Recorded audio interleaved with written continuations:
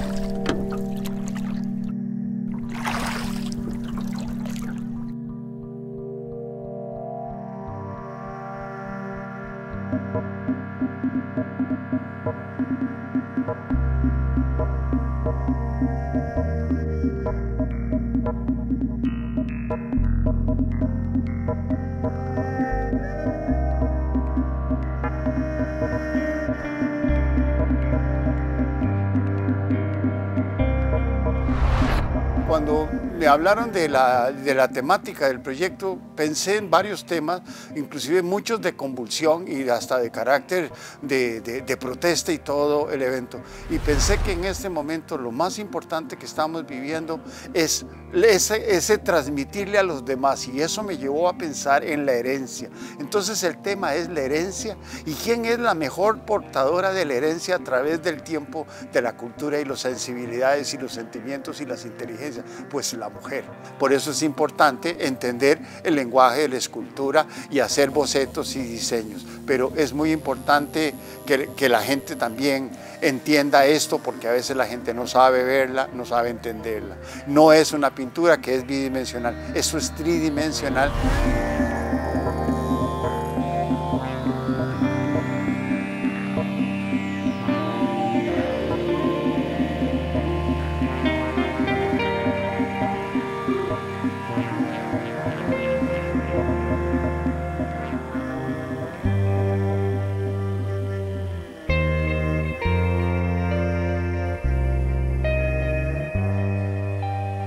Tenemos aquí que ya estamos en una etapa en que hay que empezar a entrar a volúmenes secundarios, a ponerle más atención, más pausa para que vaya saliendo mejor el detalle.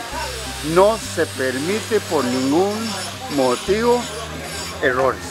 Aquí en este momento, aquí estamos entrando, a, finalizando segunda etapa, que es después de la aplicar la sierra, la motosierra en grandes cortes principales para establecer los volúmenes y los espacios.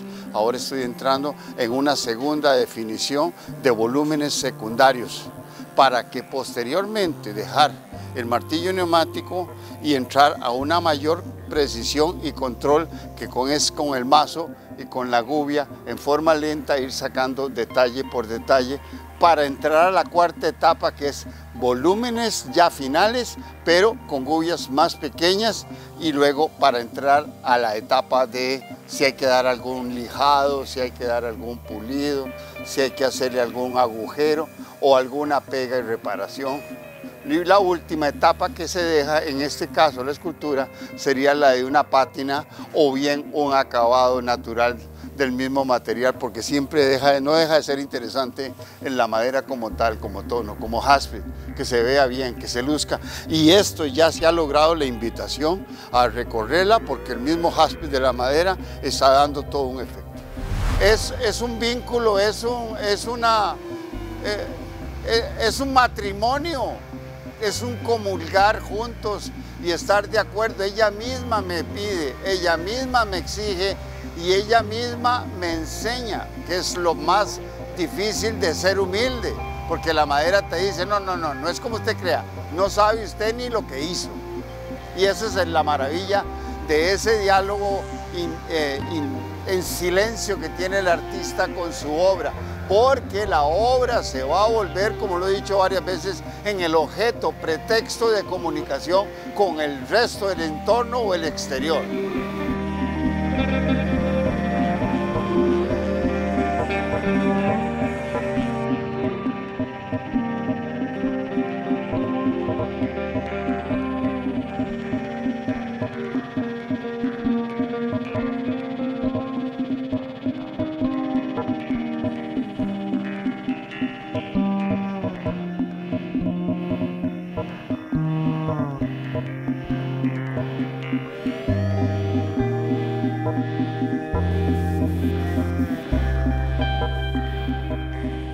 Día 8, hoy estamos a la altura de, de, de, de la etapa casi final del, del, proceso de un proyecto que se llama escultura, yo llamaría de boceto, no es escultura de acabado, no es escultura determinados ni de de, pátina ni de efectos de, de súper, súper detallado porque el tiempo es nuestro peor enemigo.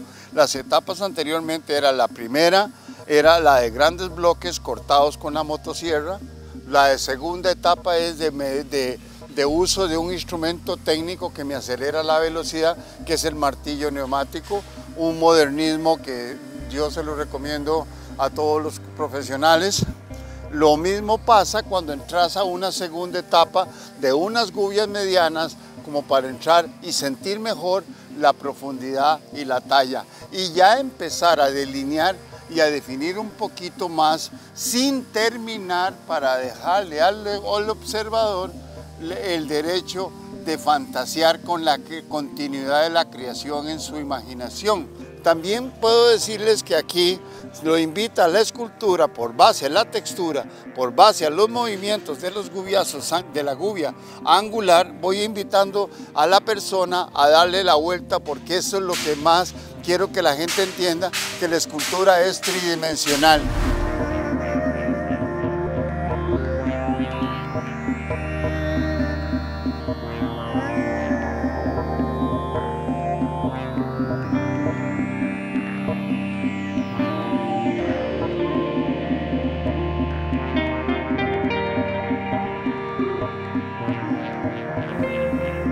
La escultura se hizo para tocar.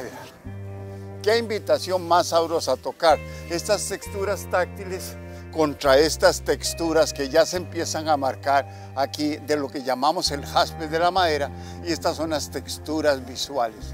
Pero conforme la luz va cambiando, también van apareciendo otras, otros tonos entre claro oscuro que hacen el trabajo todavía más excitante. Ok, aquí tenemos en este caso cómo está la, abuela, a cómo está la hija y cómo está la nieta.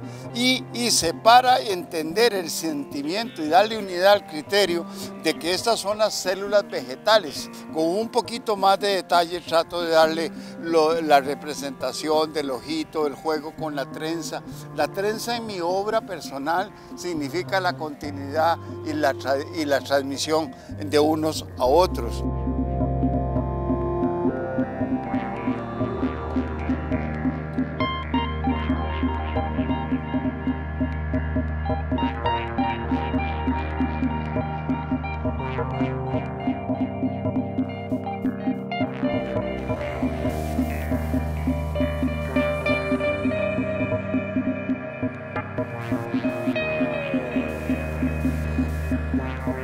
Bueno, aquí una vez más ya estamos en la última etapa en la cual yo le puedo decir lo que he dicho muchas veces en otros lugares, con otros proyectos y trabajos que he hecho, en los cuales me he sentido muy honrado y muy agradecido desde todo punto de vista.